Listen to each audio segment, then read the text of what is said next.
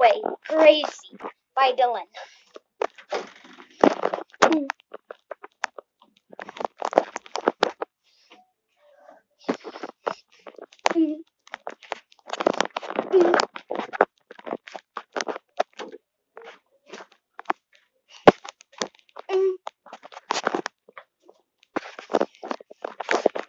He survived. The, the Foxy returns to insane.